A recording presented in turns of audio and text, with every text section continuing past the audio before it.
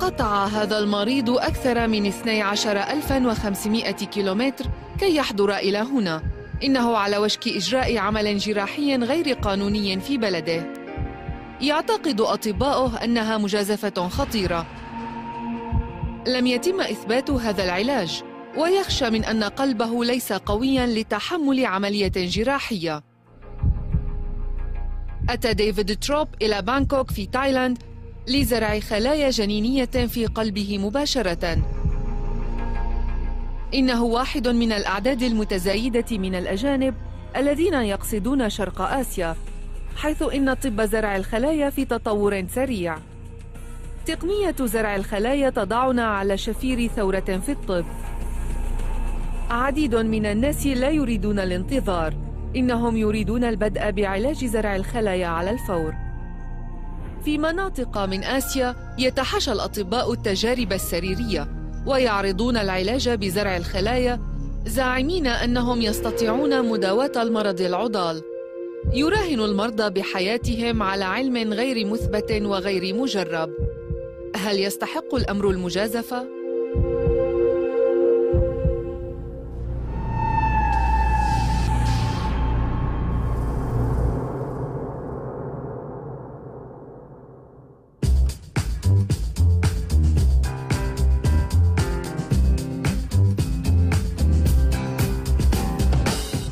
أنا ديفيد تروب. أنا مصمم ديكور من لوس أنجلوس. عملت مع عديد من الفنانين. وصممت منازل عديدة. وقد عملت مع لويس بول وكارل بيرنت وباربرا ستريسان. الحياة مكلفة ويجب أن يكون كل منا في مكانه. أنا أفضل ألا أكون في أيوة. أنا وجاي صديقان مقربان منذ عشرين عاماً. بوركت كندا أجل في كندا uh, نحن نحب الولايات المتحدة. ولكن غادرناها إلى كندا وبعدها أتيت إلى بانكوك لأتلقى علاجا لقلبي. حيث إن الولايات المتحدة بدأت الآن بتجارب سريرية كمرحلة أولية.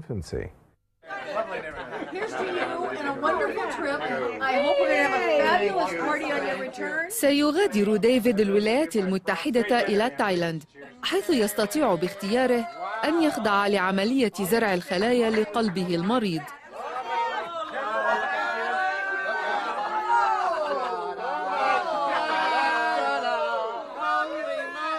بدلاً من المضي في عملية زرع القلب يريد ديفيد أن يجرب علاجاً ثورياً جديداً بواسطة زرع الخلايا لإصلاح قلبه المتضرر. الأرجح أن هذا القرار سيغير حياته بطريقة أو بأخرى. ربما لا تكون تايلاند البلد الأول الذي يخطر في البال عندما يفكر المرء بالتقدم الطبي. كدولة نامية تطلعت إلى الغرب بشكل نموذجي من ناحية العلوم الطبية. ولكن التطورات الأخيرة وضعت تايلاند في الطليعة. إنها تعجل الخطى لتشارك في التقدم الطبي الحيوي الآسيوي. وضع مشفى بانكوك نصب عينيه هدفا هو أن يصبح الرائد في مجال طب زراعة الخلايا. إنه المكان الوحيد في العالم الذي تعرض فيه بشكل تجاري عمليات زرع الخلايا للمرضى المصابين بأمراض القلب. يسافر الأجانب المصابون بقصور في القلب مثل ديفيد إلى تايلاند بهدف العلاج. ولكن كيف تعمل الخلايا الجنينية؟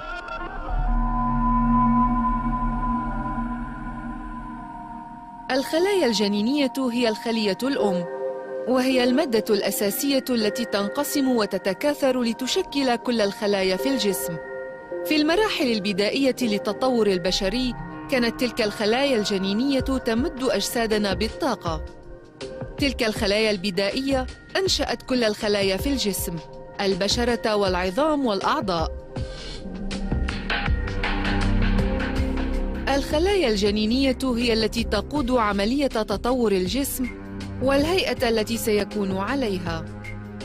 بينما نتقدم في السن تتصرف الخلايا الجنينية البالغة كآلية الجسم الترميمية الطبيعية، فهي تنقسم لتقوم بترميم الخلايا المتضررة أو استبدالها. توجد الخلايا الجنينية البالغة في عظامنا ودمائنا وقلوبنا وأدمغتنا حتى إنها توجد داخل أنوفنا. ما زال إدراكنا لطاقة الخلايا الجنينية البالغة في بدايته.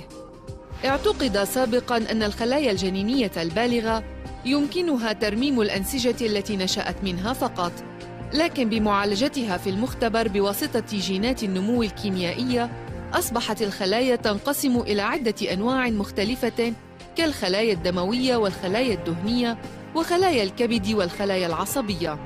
إن القدرة على معالجة الخلايا الجنينية هي التي أثارت حماس الباحثين. للمرة الأولى في التاريخ يتمكن العلماء من تجديد الأنسجة المتضررة في المختبر، وذلك بحقنها بإمداد جديد من الخلايا الجنينية.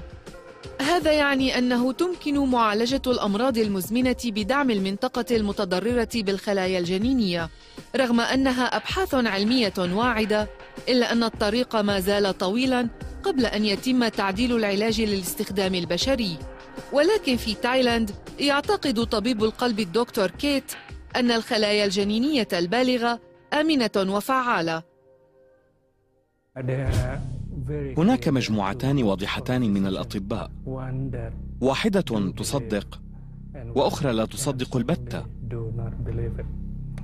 ولدي مرضى يقولون لي على الدوام يا دكتور طبيبي القلبي غير موافق على وجودي هنا.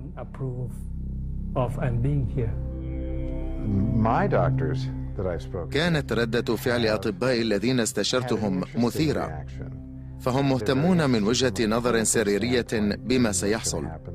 إنهم متحمسون جدا لرؤية نتائج التحاليل ولكنهم لا يصدقون أن هذا سينجح. أعتقد أن العلاج سينجح وأنا من الأقلية التي تؤمن بفعاليته. بعد أن خالف نصائح أطبائه في أمريكا حضر ديفيد إلى تايلاند ليجرب حظه في هذا العلاج التجريبي. كان قلب ديفيد مدمرا بسبب التهاب شعبي هاجم عضلة قلبه مسببا حالة التهاب القلب المزمن. قلبه شديد الضعف. يمكنه أن يضخ 15% فقط من دمه من البطين الأيسر. إذا لم أجري هذه العملية الآن فسأبقى في قائمة مرضى زراعة القلب. وسأسير من سيء إلى أسوأ إلى أن أصبح عضوا في لعبة انتظار لقلب متبرع جديد قبل أن يشتد مرضي أو أموت.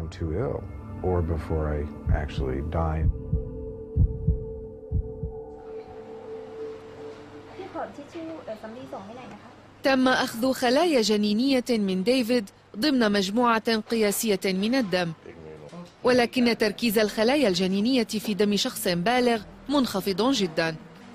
لهذا تم أخذ عينات الدم إلى مختبر تحليلي لمعالجتها.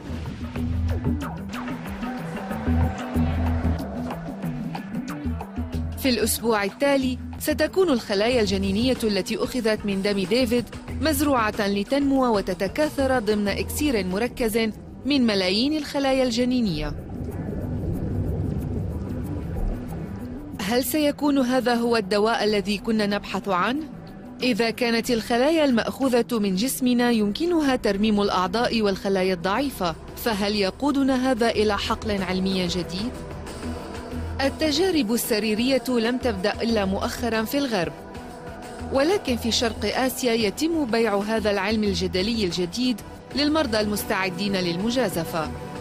لا أحد يدري عن فوائد استخدام الخلايا الجنينية ومخاطرها على المدى البعيد، ومع ذلك قفز هذا العلم الجديد من المختبرات إلى طاولة العمليات الجراحية في بعض المناطق من آسيا. هل ستؤدي هذه الطرق المختصرة إلى الخلاص أم إلى الهلاك؟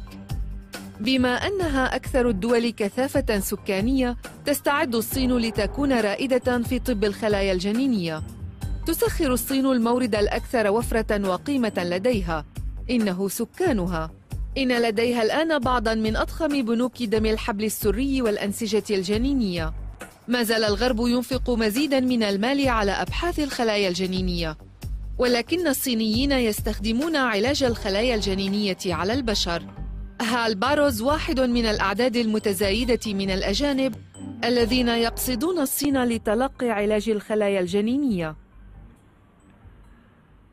عندما أخبرت كل من حولي بأني سأذهب إلى الصين بدأوا يسألونني لما اخترت الصين من بين كل البلدان؟ فقلت لأن هذا العلاج يقدم هناك. ويقول آخرون سوف يمزقونك هذا دجل ولم أفهم عقليتهم. لكنهم لا يسكنون في جسدي فجسدهم سليم. ويرون أن من العبث أن أدفع عشرين أو ثلاثين ألف دولار لأسافر إلى بلد آخر لأجل العلاج بتقنية غير مثبتة في بلدنا. منذ عشرين سنة تعرض هال لحادث سير وتم تشخيص حالته على أنها شلل في الأطراف. بعد درجة معينة من الشفاء بقي مشلولا من صدره حتى الأسفل. قضيت عشرين سنة وأنا أدفع جسدي بأقصى قوتي لأستمر وأستمر. لا يمكنك تخيل شعورك حين تنظر إلى ساعديك أو يديك أو ساقيك وتتمنى أن تحركها ولا تستطيع لأن النخاع الشوكي مقطوع. فتنظر إلى هذه الأطراف التي كانت توصلك أينما تريد وهي لا تتحرك الآن. حتى إنك لا تشعر بها. إنها صدمة حقيقية. كنت مستعدا كليا لأكون حيوان تجارب. عندما عرفت أن أمامي فرصة في الحضور إلى هنا وأن زراعة الخلايا متوفرة جئت فوراً. سيمضي هال الشهر المقبل في المشفى في الطابق الرابع عشر بجوار إخوته من الأجانب الذين أتوا سعيا للمعجزة الصينية. من إصابات النخاع الشوكي إلى الشلل الدماغي والباركنسون والسكتة الدماغية وإصابات الدماغ يتوافد الناس من شتى أنحاء العالم إلى الصين على أمل المعالجة بالخلايا الجنينية.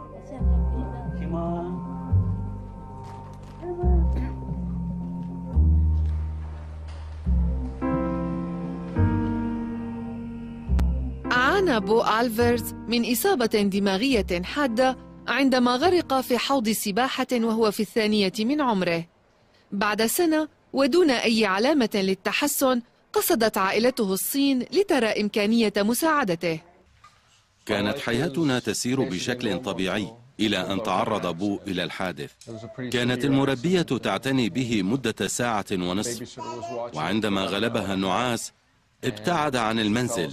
وجدنا بو في حوض سباحة بعيدا عن منزلنا.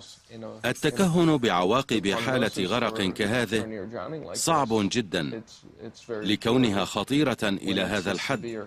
أخبرونا بأن هذا كل ما يمكنهم فعله. تأقلموا مع الوضع. ونصحنا أحد الأطباء بأن نوقف تغذية أبو. أخبروني هذا بعد ثلاثة أيام من الحادثة. منذ الحادثة ونحن نبحث عن علاج لبو في محاولة لتحسين حالته. لذا نحن هنا في الصين نحن الخمسة. لولا الحادثة لما حضرنا إلى هنا أبدا. اسمي ديفيد ألدريتش. أنا من ديلراي بيتش فلوريدا. تعرضت لحادثة منذ أربع سنوات.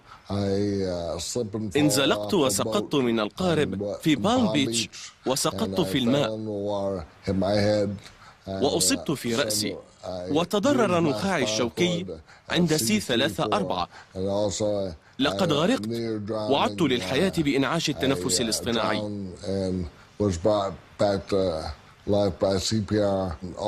بعد الحادثة فقدت بصري. فقدت بصري كليا.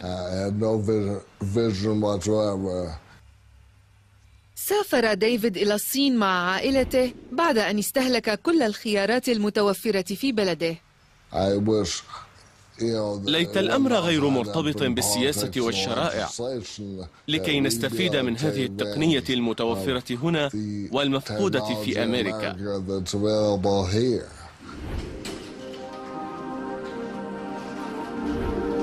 الزيادة السكانية في الصين تقدم فرصة لا تقدر بثمن هبة من جيل إلى آخر من أجل الحياة الكريمة الخلايا الجنينية.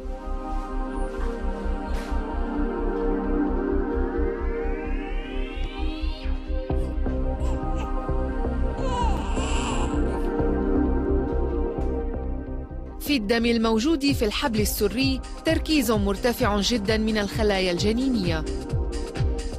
لذا فإن دم الحبل السري يجمع بعد الولادة في عدة مشاف في أنحاء آسيا.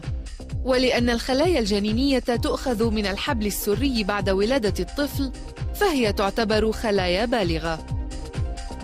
تتم تنقية الخلايا الجنينية من دم الحبل السري ويبدو أنها مرنة إلى حد كبير.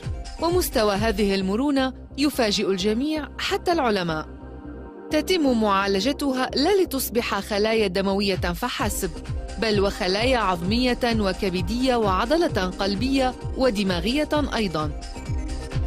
وحدة واحدة صغيرة من دم الحبل السري تحتوي على كمية من الخلايا الجنينية بحجم لتر من نقي العظام. الخلايا الجنينية المنقاة مخزونة في ثلاجات صريدية من أجل الاستخدامات المستقبلية. ربما نصل يوما ما إلى هذه الثلاجة كلما أردنا علاج مرض. فلا ننسى أن الخلايا الجنينية في دم الحبل السري مستخدمة في الصين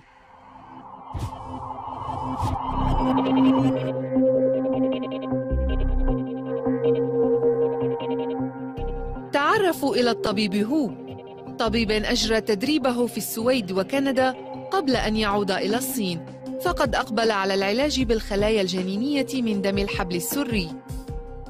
نحن نركز على علاج الخلايا الجنينية ضد أمراض الجهاز العصبي المركزي. لقد عالجنا نحو 800 مريض إجمالا ورأينا الكثير الكثير من التحسن.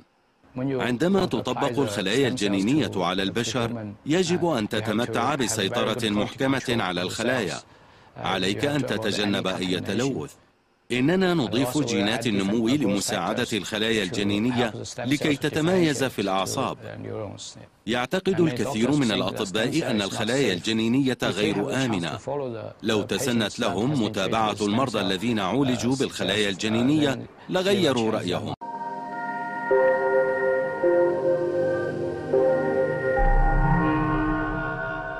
اتبع الطب الآسيوي دوما طريقا مختلفا عن الغرب. يتم غالبا الاحتفاظ بأعضاء الحيوانات وقدرة تجديد الدم والأنسجة وحتى الأجنة تم الاعتراف بها في الطب التقليدي الصيني. ولكن الطب الصيني مميز أيضا بمفاهيمه التجريبية. فالعلاج مرتجل من خلال التجارب والتعلم من الأخطاء على المريض. بدلا من متابعة مراحل علاجية مقررة. لهذا يعتقد بعضهم أن علم الخلايا الجنينية يتحاشى مرحلة التجربة السريرية في معظم آسيا. ولكن لكي يكون طب الخلايا الجنينية فعالاً على المدى البعيد يؤكد العلماء أن تنظيم أبحاث وإثباتات سريرية مسألة جوهرية. في الجزيرة الصغيرة سنغافورة يقود طب الخلايا الجنينية ثورة التكنولوجيا الإحيائية. مبنى بايوبوليس الحكومي موطن لأبرز الأسماء في مجال الطب الأحيائي. وهذا المحور عالي التقنية هو الذي يجتذب العلماء من أنحاء العالم. الطبيب ألان كولمان العالم الشهير باستنساخ النعجة دولي انتقل إلى سنغافورة ليواصل أبحاثه في هذا المجال. على الباحثين أن يتابعوا كل هذه الخيارات في آن معا لأن هناك فوائد لاستخدام الخلايا الجنينية ولأن هناك فوائد عظيمة لاستخدام الخلايا الجنينية البالغة. إحدى أعظم فوائد العمل مع الخلايا الجنينية هو بالأساس أنها تدوم إلى الأبد. تنشأ الخلايا الجنينية في الأيام السبعة الأولى من تشكل الجنين. إن فيها القدرة على الانقسام والتحول إلى كل أنواع الخلايا في الجسم البشري. ولكن إزالة كامل كتلة الخلية الداخلية من الجنين يعني أنه لن يكون بعد إذن إنساناً ولهذا نشأ جدل حول ذلك. المسألة هي ما إذا كان أخلاقيا أن نستخدم الأجنة من أجل هذا النوع من الأبحاث. أنا مرتاح البال بالنسبة لهذا. مرتاح لأن المبدأ في الدرجة الأولى هو استخدام الاحتياطي أجنة التلقيح الصناعي الأجنة التي تشارف على التلف. ونشعر بأن هدفنا من استخدامها هو هدف هام وجدير بالاهتمام وهو علاج الأمراض البشرية. ستنال الخلايا الجنينية القبول يوما ما. إنهم يقفون خلف الخلايا البالغة لأن ما يعرفونه عن سلوكها قليل. ولكن حتى في سنغافورة حيث المفاهيم المتحررة بشأن ذلك يحذر العلماء من الاستعجال بتطبيق العلاج من المختبر على البشر. أعتقد أنه حقل تتوافر فيه إمكانية التسبب بأضرار للناس. ونحن نستثمر بيولوجيا لم نفهمها بشكل كلي بعد. وأعتقد أنه في ظل هذه الظروف يتعين علينا أن نطبقها بحذر شديد. ولكن في الصين تعتبر الخلايا الجنينية واقعا تجاريا أمام البشر. الخلايا الجنينية البالغة على الأقل. تلقى هال باروز حقنا من الخلايا الجنينية البالغة من دم الحبل السري أسبوعياً طيلة الشهر الفائت. بينما يعتقد معظم العلماء أن استخدام الخلايا الجنينية على المرضى سابق لأوانه تسعد الصين بعقد الصفقات. استغلال هذه الفرصة سيسمح بزيادة الاقتصاد الضخم. تتوقع الحكومة الصينية من التكنولوجيا الإحيائية أن تولد 60% من النمو الاقتصادي بحلول عام 2020 الطب التجديدي سيضيف معنى جديدا كليا لعبارة صنع في الصين.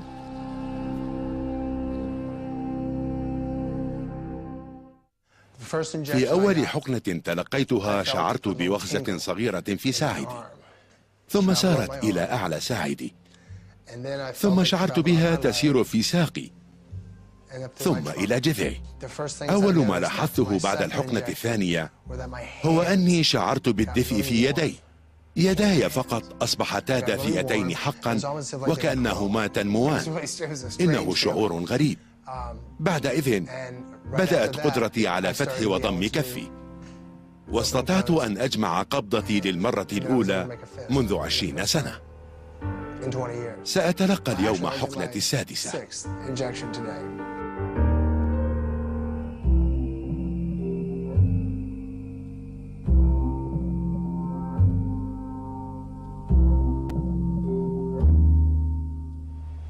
تمكن أحد المترجمين من التقاط هذه حيث يأتون إلى الغرفة ويضعون المريض على سريره. ويجعلونه بهذه الوضعية لكي يتمكنوا من الوصول إلى المنطقة المحددة من العمود الفقري. هنا يحقنون قليلا من المخدر. هذا هو الطبيب.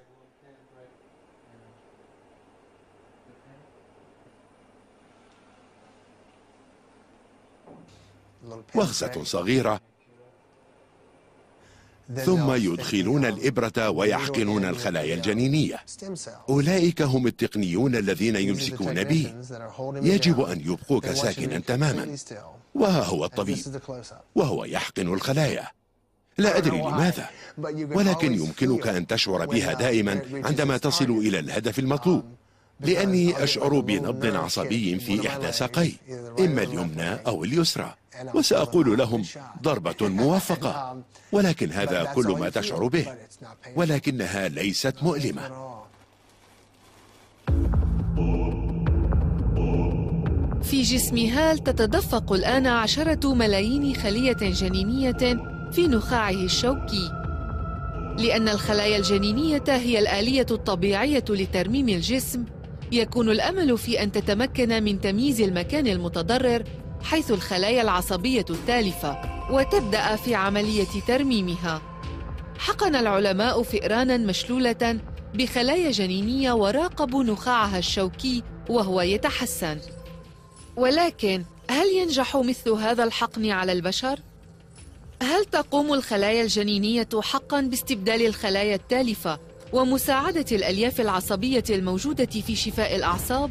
لا أحد واثق من ذلك.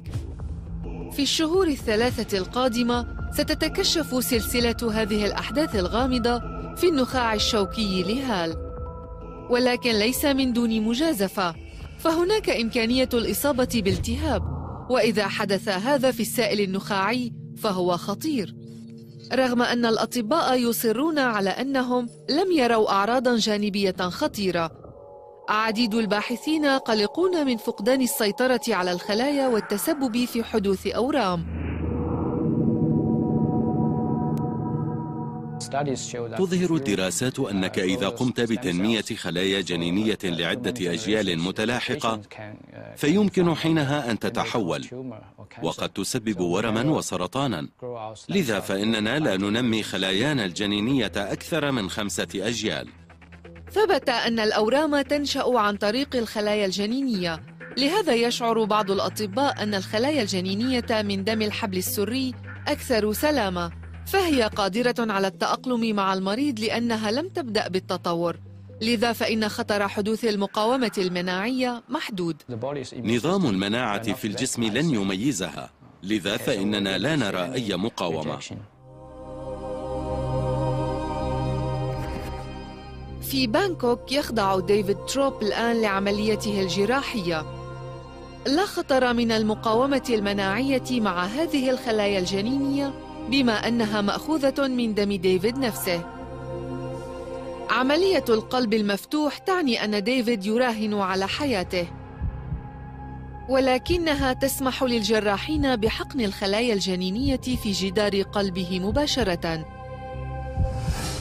يأمل الجراحون التايلانديون أن تقوم هذه الحقنة المباشرة بتحريض الخلايا الجنينية لإعادة بناء قلب ديفيد الضعيف. ولكن لا توجد أي ضمانة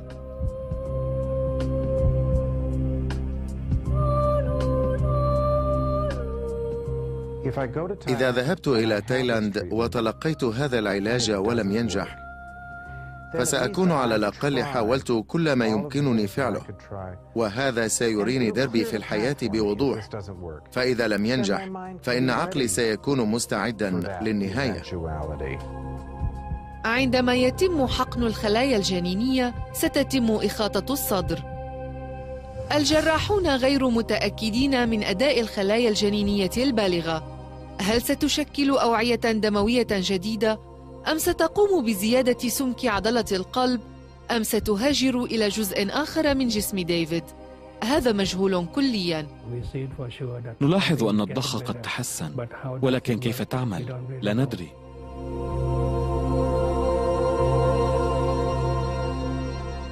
حقيقة أن الأطباء لا يعرفون كيفية عمل الخلايا الجنينية لم تمنع المرضى من تجربة حظهم.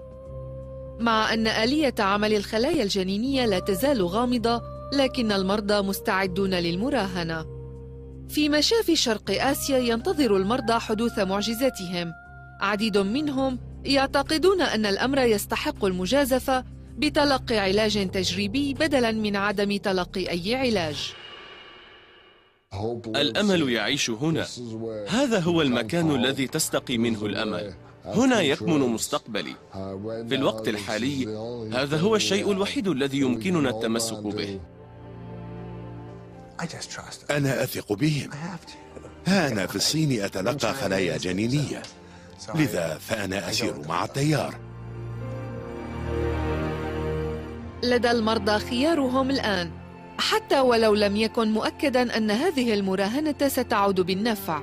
الزمن سيحسم المسألة. عندما يتعلق الأمر بتقنيات المستقبل فإن آسيا في طريقها للتطور بسرعة. وفي سباق تسخير قدرة الخلايا الجنينية فإن الشرق يتقدم كثيرا على الغرب. المرضى الأجانب يسافرون إلى آسيا لينضموا إلى الركب. البارحة تلقيت حقنتي السادسة بعد ساعتين من ذلك شعرت بوخز في ساقي وشعرت بقوة تسري في ساقي.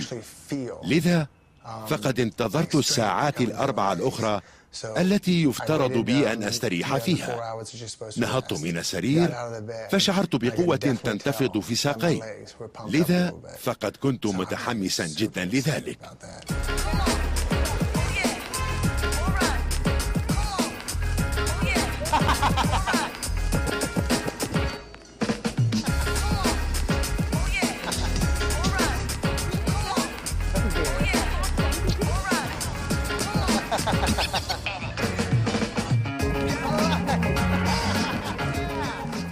مضت الآن أربع سنوات منذ أن استطعت الوقوف على قدمي دون ألم. كنت متحمسا جدا لذلك.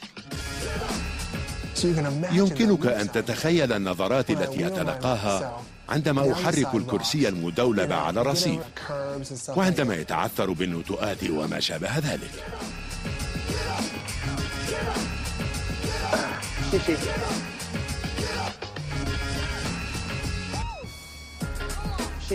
لا أصدق أنني أمريكي في الصين لا أصدق أنني في الصين أتلقى حقن خلايا جنينية يعتقد هال أن حقن الخلايا الجنينية من دم الحبل السري يرمم نخاعه الشوكي المتضرر ولكن إلى أي مدى؟ أظهرت الخلايا الجنينية قدرة على ترميم العظام البشرية والأربطة والغضاريف المتضررة ولكن هل تستطيع إعادة بناء النخاع الشوكي؟ وإذا استطاعت إعادة بناء أعصاب النخاع الشوكي فهل ستتمكن من ترميم الخلايا العصبية في الدماغ؟ هل يمكن للخلايا الجنينية أن تشفي الجلطة والباركنسون والزهايمر؟ تم حقن شبكية العين بالخلايا الجنينية لاستعادة البصر حتى إن هناك ترويجا للخلايا الجنينية في معالجة الصلع بتجديد بصيلات الشعر في فروة الرأس يعتقد الباحثون أن الخلايا الجنينية يمكن أن تستخدم لتنمية براعم الأسنان ما يؤدي إلى نمو أسنان جديدة عندما تزرع في اللثة حتى إن العلماء يعتقدون أنهم سيتمكنون من تنمية المني والبويضات من خلايا جنينية بالغة. في اليابان تم تطبيق هذا الأمر على فئران المختبرات، ولكن رغم كل الحماسة المحيطة بعلم الخلايا الجنينية إلا أن له مخاطره أيضاً. ورغم ذلك يجازف بعض الناس لعدم وجود خيار آخر. قولي مرحبا يا بيز. كيف تشعرين اليوم؟ أجيبيني سوف تتحسنين صحيح؟ ألا تشعرين بتحسن اليوم؟ لقد قلت أجل؟ أليس كذلك يا حبيبتي؟ زوجتي تعاني من انحلال في القشرة الدماغية. لا علاج أبدا. لقد رأينا على الإنترنت أن الخلايا الجينية قد تكون العلاج. إنها شائعة ويمكن أن تنجح. سأفعل أي شيء لأساعدها. حتى ولو كلفني هذا كل ما أملك. سأفعل. نحن متزوجان منذ تسعة وخمسين عاما. يجب أن نقوم بهذا لأنه لا يوجد علاج آخر. لوسي تعالي التقطي صورة معنا يا لوسي نعم تعالي من فضلك. هؤلاء هم مساعدون في الصين. وهم رائعون فعلا. ويعتنون جيدا بالناس. من فضلك. ألقي نظرة إلى الكاميرا. سنسميها لوسي. فمن الصعب لفظ اسمها بالصيني. ولكن هؤلاء المساعدين رائعون حقا. حقا إنهم رائعون. أعتقد أنها بدأت تتجاوب مع العلاج. يقولون إنها ستتحسن خلال ثلاثة شهور تدريجيا. قبل أن يأتي المريض إلينا أكتب له رسالة أطالبه فيها بأن يكون مستعدا. فربما لن نرى نتائج للعلاج بالخلايا الجنينية. ولكن المريض يجيب دوما حسن ما تفعلونه يا رفاق هو أنكم تزرعون فينا الأمل نحاول أن نقنع لوسي بأن تعود معنا سنعود إلى ديارنا قريبا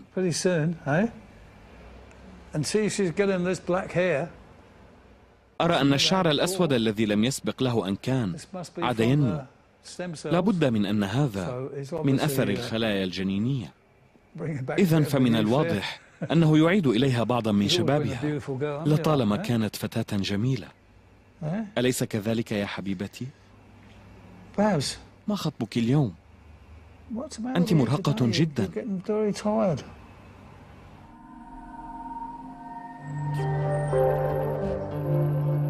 في بانكوك الأحباب أيضا ينتظرون رؤية ما إذا كانت الخلايا الجنينية ستحقق معجزة الشفاء.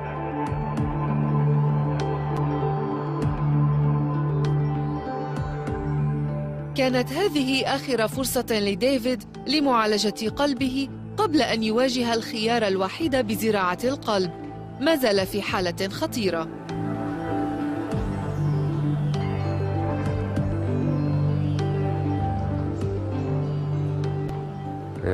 إذا كان هذا فعالا حقا فلن يكون أقل من معجزة.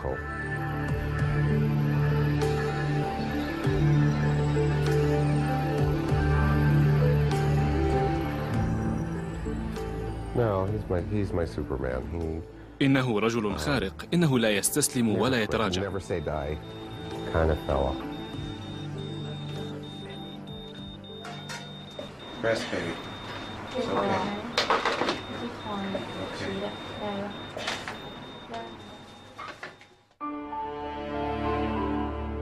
ماذا يتوقع هؤلاء المرضى حقيقة؟ هل الأمل بمعجزة كثير عليهم؟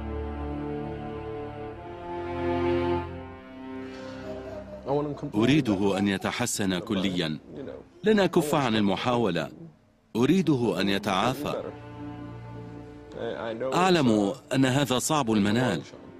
ولكن تلك هي غايتي في الحياة. آمل أن أقف على قدمي وأمشي لسنة واحدة على الأقل.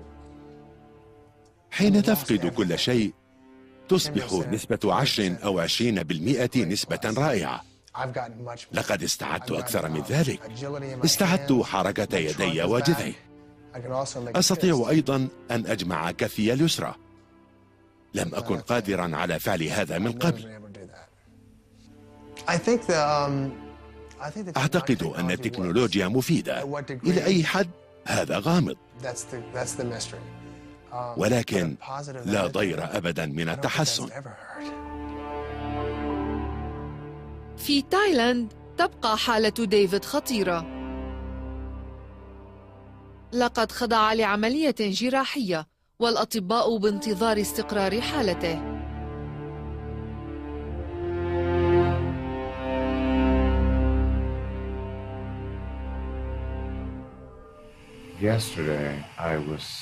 البارحة كنت شديد القلق. وكنت خائفا. كنت مستعدا للرحيل.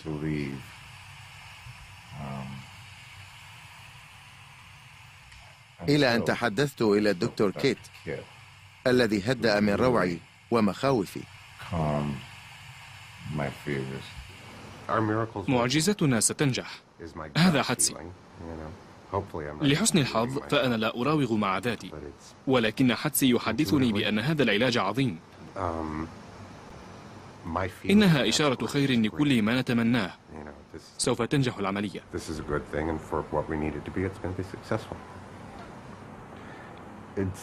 لقد مضت عشرون سنة وما زال يضحكني كما لا يفعل أحد غيره. وهو يجعلني أغضب بسرعة. أسرع من أي شخص آخر. ليس كثيرا. بلى. أنا أفكر في علاج المياه المعدنية. أتريد هذا العلاج؟ نعم.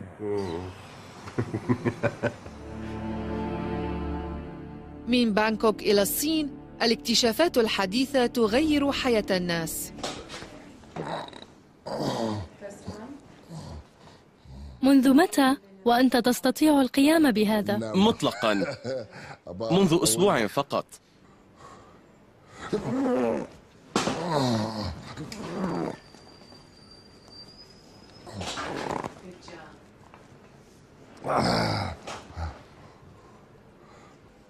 لم أكن أستطيع هذا من قبل.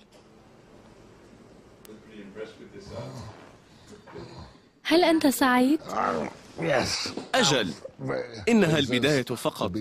ومن هنا أعتقد أني أقوي جذعي. أشعر بأن جزئي السفلي يستفيق. كل العضلات في جذعي تستفيق. وأشعر بكل شيء يعمل ويحاول الانطلاق. إنها مسألة تقوية وتعليم العضلات وظيفتها من جديد. أستفيق وأنتصب بجسدي على طوله. يمكنني أن أحرك قدمي. ولكن ربما تكون الثورة الكبرى بالنسبة إلى ديفيد هي استعادة رؤيته. بين ليلة وضحاها تمكن من الانتقال من الرؤية بالأبيض والأسود إلى الرؤية بالألوان. وقد تحسن تركيزه بما يكفي ليقرأ للمرة الأولى منذ أكثر من أربع سنوات. حقن الخلايا الجنينية يتبعه عمل شاق في إعادة التأهيل. ها هو ديفيد مشدود إلى لوح الوقوف. ها هو ذا يحرك يديه ويضع إصبعه في فمه ويفرك عينيه. إنها معجزة نراها أمام أعيننا. لنذهب للرقص. أود أن نذهب للرقص. بعد أسبوع من عملية القلب المفتوح يخضع ديفيد للتحاليل النهائية في مشفى بانكوك. تم حقن الخلايا الجنينية مباشرة في جدار قلبه. لم يبقى إلا أثر بسيط كدليل على عملية قلبه المفتوح. يأمل الأطباء أن تجدد الخلايا الجنينية البالغة التي حقنوها أوعيته الدموية لتقوية قلبه الضعيف. إنه واحد من أوائل المرضى في العالم الذين اختاروا بإرادتهم أن يخضعوا لهذه العملية التجريبية. قال الدكتور بيرميوس ستة شهور ربما ستة شهور. لهذا فإن لقد بدأنا بثلاثة. لسنا على يقين. لا ربما. أجل. في أي وقت كان. طبعا نريد رضا فوريا. حسنا مع يا إلهي هبني الصبر فأنا أريده في الحال. الحقن في ثلاثين منطقة. وصلاحية الخلايا التي حقنوها بلغت 97% وهذا إيجابي. لدي شعور رائع حيال الأمر. الخروج من هنا على قيد الحياة هو أفضل ما في الوجود جزء من الأفضل. أتمزح يا صديقي؟ عندما أصعد إلى الطائرة وأودع بانكوك وداعا عزيزا فسأكون أكثر سعادة. وداعا لا أحب الوداع. وداعا. كغيرهم من المرضى الأجانب الذين أتوا من أجل العلاج بالخلايا الجنينية فإن السفر على وشك أن يكتمل. ولكن الرحلة ما زالت في بدايتها.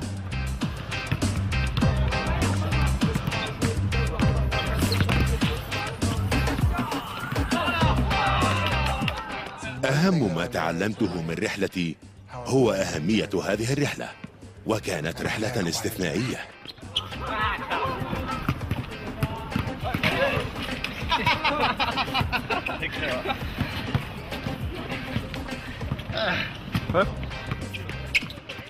أنا الآن لا أعيش حياتي فقط بل تعلمت كيف أتجاوز الألم.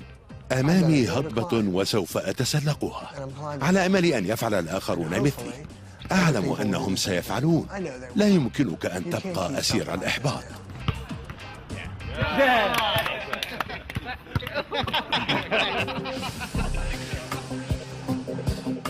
هذا هو الأمل الذي تقدمه الخلايا الجنينية. تجديد الخلايا التالفة يمكن أن يساعدنا في إعادة بناء ذواتنا من الداخل إلى الخارج.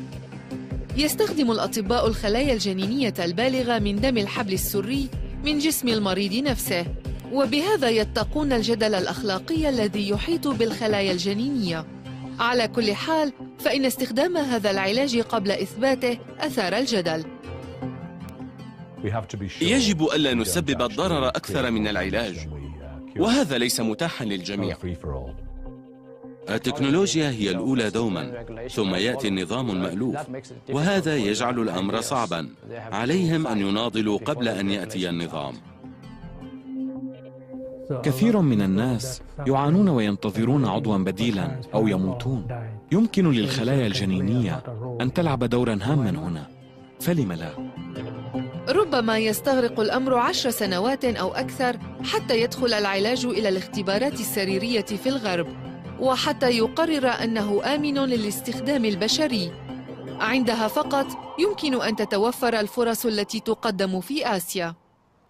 يا إلهي عشر سنوات بعد؟ هذا عقد. هل تتخيل ما يمكنك أن تحققه خلال عقد؟ إذا فقد استبقت الأمور. وعقدي القادم سيكون مليئا بأمل لا يصدق وفهم لهذه التقنية. لقد غيرت حياتي. يأخذ هال معه شيئا آخر سيربطه بالصين إلى الأبد. إنه جزء من أول جيل يخلق من جديد في العالم تسري ضمن نخاعه الشوكي خلايا جنينية أوجدتها في العالم ولادة أطفال صينيين. يا إلهي تقنية الخلايا الجنينية تمنح أملا بالكثير. خلال عشرة أعوام سيدهشنا أن هذه كانت هي البداية. قبل كريستوفر كولومبوس كان الجميع يظن أن الأرض مسطحة. وقد مضى هذا الرجل لإثبات أن الأرض كروية. لذا أعتقد أن هذا ما نفعله هنا.